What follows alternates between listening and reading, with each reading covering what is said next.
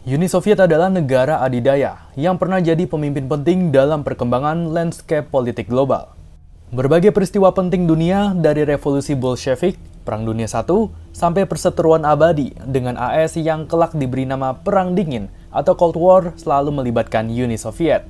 Tapi kedikdayaan Uni Soviet tidaklah abadi. Pada 1991, Uni Soviet bubar dan pecah ke dalam banyak negara, termasuk Rusia. Ketika jadi negara sendiri, Rusia saat itu dipimpin oleh politikus Partai Komunis bernama Boris Yeltsin. Ia berkuasa selama 8 tahun sebelum resign dan posisinya digantikan sosok yang kurang terkenal. Namun, sosok kurang terkenal itu kemudian perlahan membangun kekuatan sekaligus pengaruhnya. Ia adalah Vladimir Putin.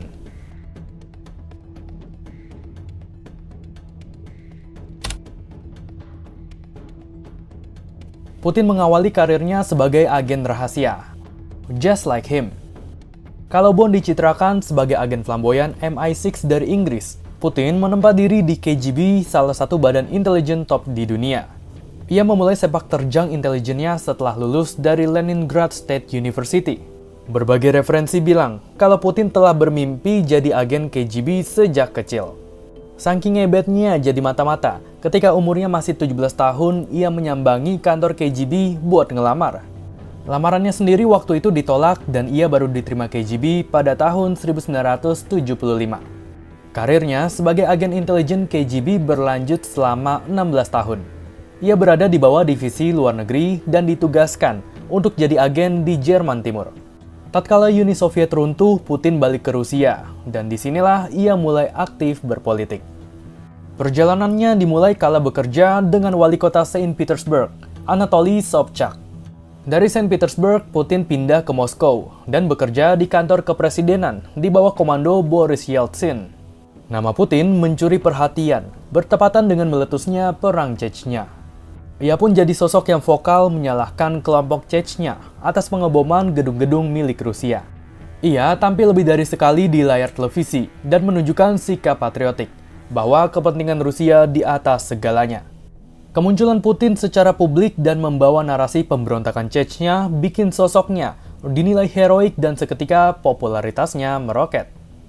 Perang Chechnya sendiri mulai sejak 1994 dan berlangsung dalam dua babak. Chechnya ingin memerdekakan diri, tapi Rusia nggak kasih izin. Pada awal perang, Rusia sempat dibikin kelimpungan lantaran menganggap remeh kekuatan kelompok Chechnya. Balik lagi ke Putin. Momentum perang Chechnya jadi krusial untuk Putin menancapkan pengaruhnya. Tak lama setelah Yeltsin mengundurkan diri pada akhir 1999, Putin naik menggantikannya. Beberapa bulan kemudian, Putin terpilih sebagai presiden. Ia mengumpulkan suara hampir 45 persen. Putin sadar bahwa kekuatan politik perlu dibangun dengan sumber daya dari segala penjuru. Dalam konteks Rusia, kelompok yang punya pengaruh signifikan ialah pengusaha. Kita mengenalnya sebagai oligark. Kemunculan oligark di Rusia setidaknya bisa dilacak melalui dua titik mangsa. Awal 1990-an, tak lama usai kolapsnya Uni Soviet, rezim Yeltsin mengeluarkan kebijakan privatisasi di sejumlah industri, dari energi sampai cadangan mineral yang melimpah.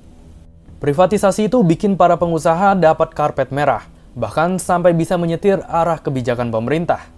Di era Yeltsin, oligark tak sekadar pengusaha, melainkan banyak yang masuk ke struktur pemerintahan. Nah, bandul kebijakan perlahan berubah saat Putin berkuasa. Putin sendiri disebut menjalin relasi dengan para oligark jauh sebelum jadi presiden. Dalam masa pemerintahannya, Putin menegaskan beberapa hal kepada para oligark ini. Intinya jangan masuk ke politik, dalam hal ini mengusik kekuasaannya, dan pemerintah akan membiarkan mereka mengurus bisnisnya. Persoalannya, pesan itu tidak mudah untuk direalisasikan. Semakin kaya para oligark, semakin sulit menjauhkan mereka dari politik. Dan ini bikin Putin murka. Salah satu contoh kejadiannya ialah kala Boris Berezovsky dan Vladimir Gusinsky mulai vokal mengkritik atas kebijakan agresif Putin di Chechnya. Keduanya mengkritik Putin dan pejabat lainnya menggunakan corong media yang mereka bikin. Selain mereka, ada pula Mikhail Khodorkovsky. Khodorkovsky merupakan salah satu orang terkaya di Rusia dan pernah memiliki 78% saham di perusahaan minyak Yukos. Ketika ia mulai getol menyebut rezim Putin korup, geraknya dibatasi.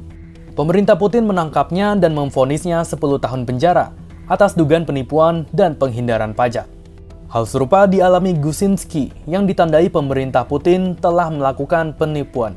Baik Khodorkovsky maupun Gusinski, juga para oligark yang vokal lainnya kemudian memutuskan untuk cabut dari Rusia demi faktor keamanan. Periode kekuasaan Putin setelahnya tidak berubah banyak, dengan kata lain, ia masih membangun kontrol atas relasi dengan oligark. Riset ini menunjukkan setidaknya terdapat tiga golongan oligark yang dekat dengan Putin. Kelompok pertama ialah orang-orang lingkaran utama Putin. Mereka mayoritas berasal dari Saint Petersburg, wilayah di mana Putin menapaki jalan politiknya. Ada Gennady Timchenko yang menguasai firma perdagangan energi Gunvor, Kemudian Rothenberg bersaudara, Arkady dan Boris yang diberi keleluasaan mengurus proyek infrastruktur, kelistrikan, hingga jaringan pipa. Yang populer tentu saja Yuri Kovalchuk, yang saking dekatnya dengan Putin disebut-sebut jadi bankir pribadinya. Sementara kelompok kedua terdiri atas para elit intelijen, polisi, serta militer. Mereka dikenal dengan sebutan Siloviki. Kedekatan dengan Putin dimanfaatkan untuk menimbun aset dan kekayaan pribadi dalam jumlah yang besar. Saat Yeltsin berkuasa, mereka tidak memperoleh momentum untuk mengambil keistimewaan. Di tangan Putin, para Silovark, Siloviki oligark ini bersinar. Sosok yang populer memimpin kelompok ini adalah Igor Sechin, CEO raksasa minyak Rusia Rosneft. Yang terakhir, kelompok ketiga ialah mereka yang tidak memiliki relasi pribadi dengan Putin, KGB, atau militer. Banyak dari mereka tumbuh dan mengeruh keuntungan pada 1990-an Putin sendiri tidak secara eksplisit menghapus kelompok ini dari daftar koneksinya. Dalam beberapa kasus, para oligark ini tetap bisa bertahan tanpa ancaman dari Putin, seperti yang terjadi pada Vladimir Potanin dan Oleg Deripaska. Nah, selain oligark, Putin juga diduga merawat hubungan dengan kelompok mafia di Rusia. Putin mengendalikan kelompok mafia dengan pola timbal balik semacam ini. Mereka dibiarkan berbisnis gelap seperti perjudian dan pencucian uang. Dan sebagai balasannya, Putin akan memanfaatkan mereka untuk kerja-kerja kotor. Pada Februari 2018, 18 warga Rusia diduga mencuci uang sebesar 50 juta euro via real estate di Spanyol. Satu dari belasan nama yang masuk catatan hitam itu yakni Vladislav Resnik, loyalis sejati Putin. Resnik sendiri disebut punya hubungan istimewa dengan kelompok mafia. Setahun sebelumnya, tahun 2017, Adam Osmayev, tokoh Chechnya yang anti-Putin, mengalami percobaan pembunuhan. Siapa dalang di balik itu? Ya, kelompok mafia Rusia. Namanya Alexei Navalny. Ketika ia lahir pada 1976, Putin masih menjadi anggota KGB dan mungkin tidak ada yang menyangka bahwa kelak ia jadi lawan serius bagi orang terkuat di Rusia. Nama Navalny melambung setelah rutin menulis di blog pribadinya perihal dugaan korupsi yang melibatkan perusahaan-perusahaan pemerintah. Aksi sarjana hukum ini lalu menarik masa pendukung yang sama-sama jengah terhadap keculasan pemerintahan Putin. Puncak kekecewaan tersebut terangkum dalam demonstrasi berskala besar pada 2012. Masa tumpah ruah di jalan dan berteriak lantang mengkritik rezim Putin yang dianggapnya curang dalam melangsungkan pemilu. Satu sosok berdiri menjadi komando demonstrasi itu. Ia Navalny. Pemerintah sadar akan ancaman yang ditimbulkan Navalny dan segera melakukan pengawasan ekstra. Sampai akhirnya, pada 2013, pemerintah menangkap dan memfonis Navalny 5 tahun penjara karena dugaan penggelapan uang. Navalny menyebut penangkapannya sangat bermotif politik. Persoalannya, Navalny bukan satu-satunya aktivis sipil yang dijerat tangan besi rezim Putin. Beberapa di antaranya bahkan bernasib lebih buruk. Pada 2006, jurnalis surat kabar Novaya Gazeta, Anna Polikovskaya, ditemukan tewas tertembak di lift apartemen tempat ia tinggal.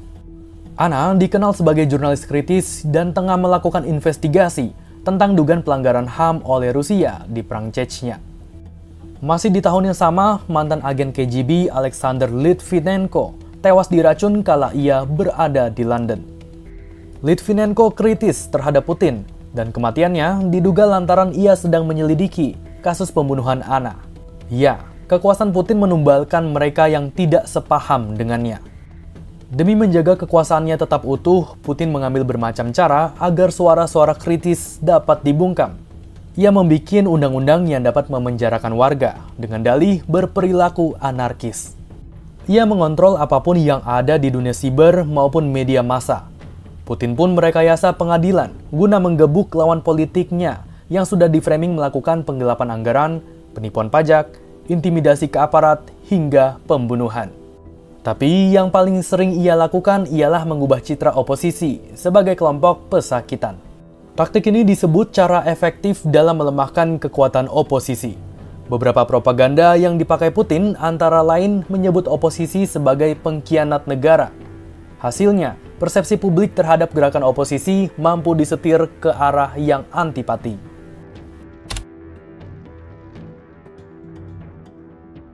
Putin naik ke kursi kekuasaan Rusia dengan kondisi dalam negeri yang tidak baik-baik saja.